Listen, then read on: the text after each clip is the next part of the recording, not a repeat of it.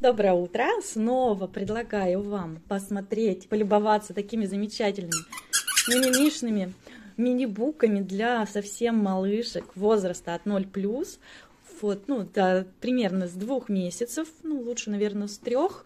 Там уже э, в зависимости от развития ребенка. Некоторые детки бывают такие активные, что уже в три, я не знаю, прикорм начинают кушать. Вот. И мини-буки, они, это, во-первых, очень приятная игрушка для самой мамы. Они отвлекают малыша а, звуками, а, сенсорными элементами. Их можно подвешивать к мобилю и оставлять с малышом, а он будет там перебираться, играться. Но все-таки я рекомендую всегда делать под присмотром.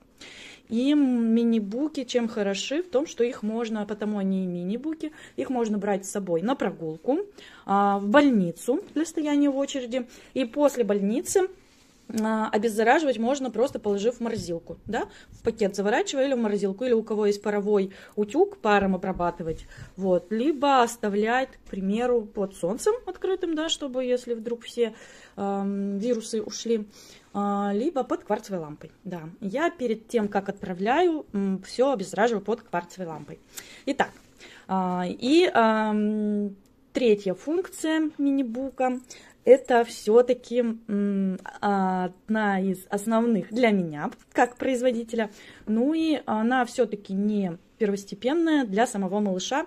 Это а, его развитие. Сейчас существует несколько теорий о том, что совершенно не обязательно развивать ребенка с самого рождения. А, году он сам все научится, но, как показывает мой опыт материнства, все-таки а, дети, которые с детства вот а, работают и играют с различными материалами сенсорными, они все-таки намного раньше начинают говорить, распознавать предметы большое, маленькое. Ну и потом, если мама активно занимается с малышом, то, как правило, к 4 годам уже дети знают алфавит. Это я сейчас говорю про обычных среднестатистических детей, не про вундеркиндов. А к 5 годам уже начинают а, читать. Можно их обучать чтению, считать. Ну, считать легче детям, а, чем читать. И уже э, к 7 годам это полноценный готовый первоклашка. Это я говорю по своему ребенку старшему, с которым я занималась. А с младшим ребенком, у меня он очень активный, гиперактивный, книжки служили не для развития, а больше для успокоения, для отвлечения, для знакомства с прекрасным, цветами. Я имею в виду, ну, изучать цвета и э, счет мы э, с младшим сыном учились по книжкам – а вот уже читать, ему сейчас 6, он еще пока у меня не читает. Хотя старший сын, он уже читал у меня, мы с ним учились пять с половиной, он уже букварь у меня изучил и начинал читать первые легкие книги небольшие, э, обязательно с иллюстрациями.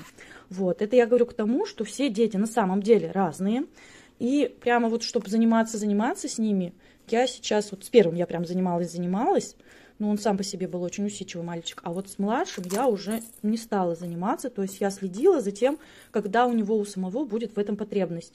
И сейчас он, пока сам не попросится заниматься, я с ним не, ну, не э, учусь, то есть не учу, не обучаю его. А играть мы играем, он мне помогает собирать книжки сейчас. Ну, вы даже видели, наверное, по моему каналу, по ютубу, уже теперь там главный герой не Рома, а Ванечка. Вот, и Ваня у него немножко по-моему, что-то с уздечкой, то есть нам, мы пойдем к ортопеду э, в сентябре, да, и он посмотрит, он немножко у меня шепелявит, но при этом он очень мальчик умный и э, очень быстро соображает, то есть он сильно отличается у меня от старшего сына, старший сын очень умный, но соображает не так быстро, но зато безошибочно, а Ванька у меня, он соображает мгновенно, но допускает ошибки, потом сам их исправляет. То есть вот такие детки разные. И э, вот эти все книжечки развивающие, э, я э, все-таки смотрю на них как ну, эстетическое развитие малыша, сенсорное обязательно, да. И плюсом еще для мамы э, самое главное это свободное время. Свободное время и общение с малышом. Потому что, ну, вот так просто отдать ну, свободное время, это когда малыш уже после знакомство с книжкой знает, что с ней делать, а первое время с малышом нужно играть и показывать. То есть просто так сразу вот на, играй как телефон, да, это не получится. То есть нужно обязательно с ним пообщаться. Вот, спасибо большое за внимание. Сегодня у меня вот такой не обзор книжки, а скорее краткий экскурс вообще, для чего это все нужно. И два милых мини-бучка у меня отправляются. Этот отправляется в Москву, а этот отправляется ежик в Мурманск. Заказы я принимаю.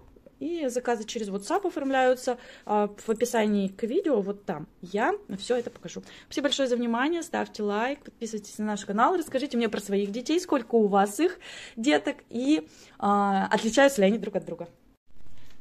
Правда, мне очень интересно с вами пообщаться, потому что я YouTube канал как-то использую больше для показа своих работ, но у него ведь тоже есть функция, это общение и знакомство, поэтому мне будет интересно.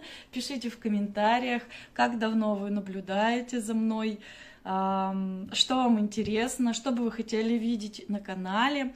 Еще мне очень интересно, сколько у вас деток и отличаются ли они друг от друга, потому что у меня это как абсолютно как небо и земля, Ваня и Рома, и каждому из них свой подход. А вообще я уже 10 лет шью и начала шить книжки как раз будучи беременной а, Ромой, старшим сыном, ему сейчас 8 лет, а 6 апреля будет уже 9, то есть, ну, уже 9 лет. Он учится во втором классе, отличник. А Ваня, он больше такой физический, спортивный, очень находчивый, очень быстро логически э, соображает, ну, допускает вообще очень много косяков, таких ошибок, то есть мне очень сложно ему доверять а, какие-то самостоятельные работы, даже в плане уборки, пылесоса. То есть я всегда на чеку его контролирую. А Рома, я ему могу просто дать задание, и он сам решает. Вот. И Ваня у меня пойдет в школу через год.